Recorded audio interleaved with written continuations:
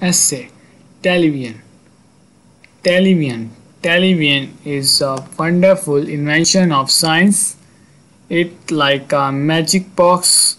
Different images and pictures appears on the screen and delight the viewers. Television attracts everyone's attention. It has become part and parcel of our life. Television is useful for us in many ways. It provides us information as well as entertainment. Television keeps us aware of almost everything happens in or exists in the world. Informative and educational programs are also broadcast on television. Television programs like talk show gives us a lot of information about our political and social issues.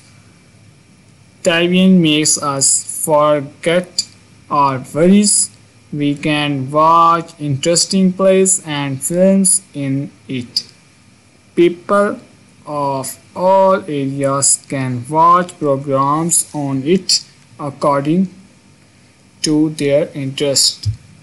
Television has some negative effects too.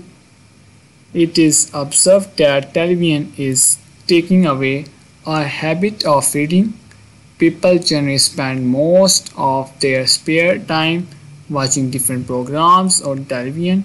They do not have time to read books and magazines, etc. Students also watch television for hours and waste their precious time. Another negative effect is the violent movies on television make young and immature people commit crimes of violence. Watching television for several hours is harmful for the eyesight. When we stare at the screen continuously, it damages our eyesight. Television is great and useful invention of science. We can make it wholly beneficial for us if we use it wisely and sensible. Thanks for watching video. For more videos subscribe our channel.